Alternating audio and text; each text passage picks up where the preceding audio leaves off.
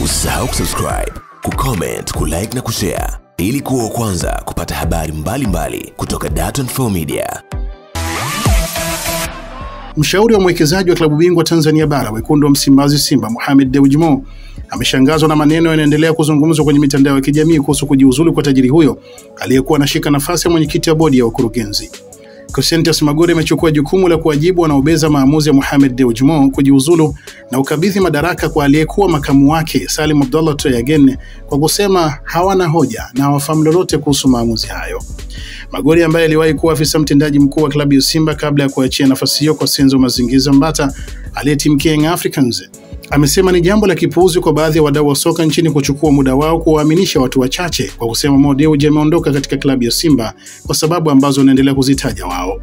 Amesema Mo Dewji sio mfadhili kama ilivyo kwa watu wengine waliamua kuzisaidia klabu za michezo nchini Tanzania, na badala yake amewataka wafahamu kuwa tajiri huyo amewekeza fedha zake ndani ya klabu ya Simba ambazo zinamwezesha kumiliki asilimia 49 ya hisa.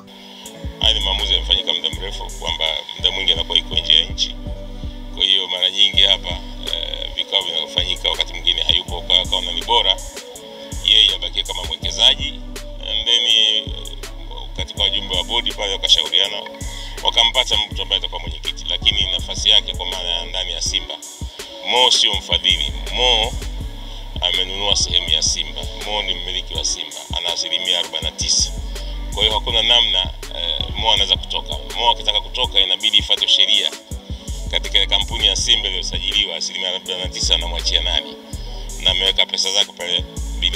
20. Kwa hiyo watu wanafikiri kwamba Mo ameondoka. Mo hawezi kuondoka. Mo unajua sasa hivi imempa nafasi kubwa ya kufanya mipango mikubwa ya uwekezaji na pesa ndani ya klabu.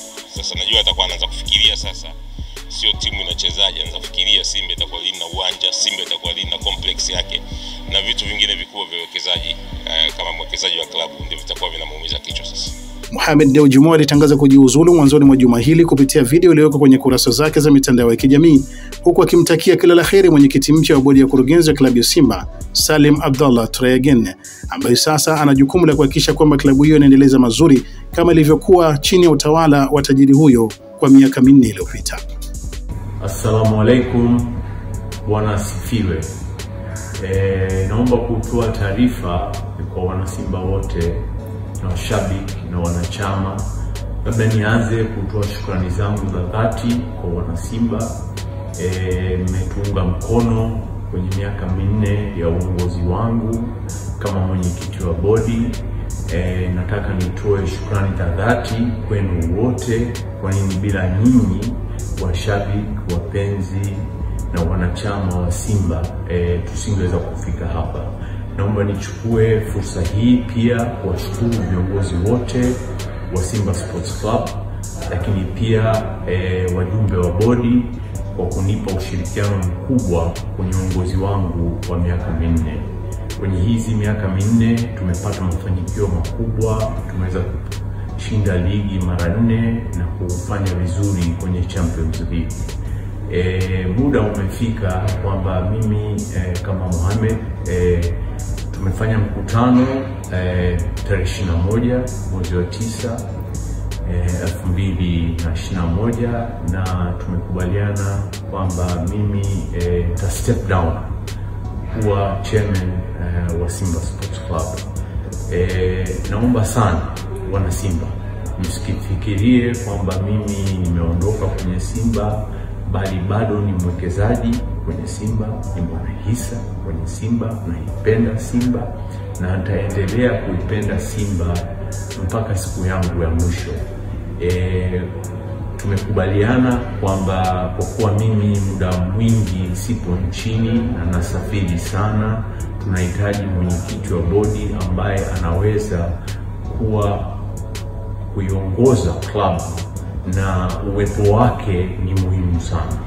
E, nimekuwa na makamu wangu ambaye anaitwa Salim Abdallah Mohen try again e, kwa makubaliano ambayo tunayo kati yangu mimi mwekezaji na Simba Sports Club. Nachukua fursa hii kumteua Salim Abdalla Mohene try again kuwa mwenyekiti wa bodi wa Simba Sports Club.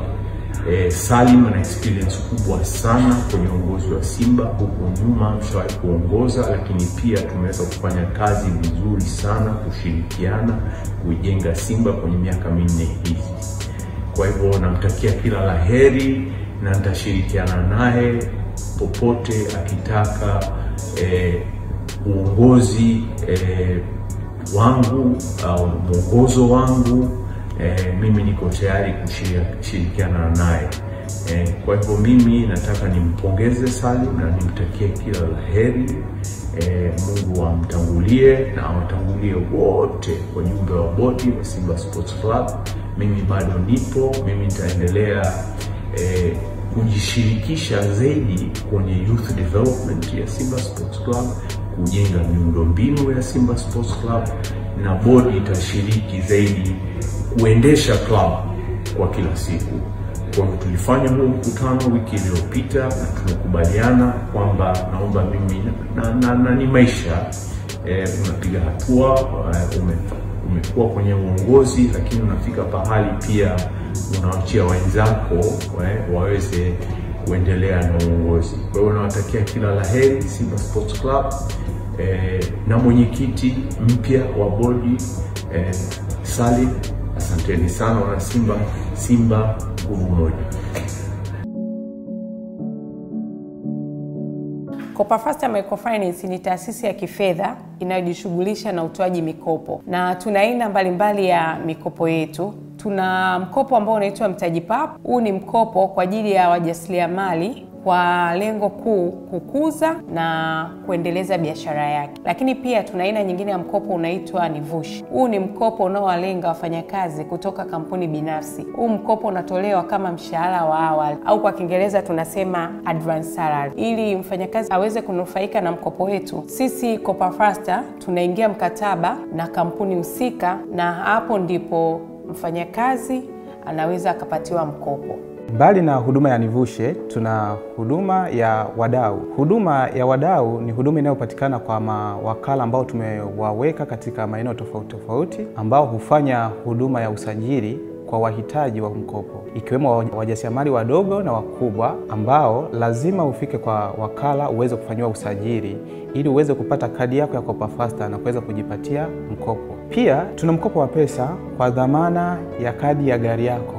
Kwa wateja wote wanaomiliki magari mnakaribishwa sana ili muweze kujipatia mikopo hii kuanzia milioni moja mpaka milioni kumi kupitia kadi ya gari yako, au unaweza kutembelea ofisi zetu zilizoko Mikocheni B, barabara ya Rose Garden. Kopa Faster, familia huru, tukue pamoja kiuchumi. Usisahau kusubscribe, kucomment, kulike na kushare ili kuwa wa kwanza kupata habari mbalimbali mbali kutoka Dar24 Media.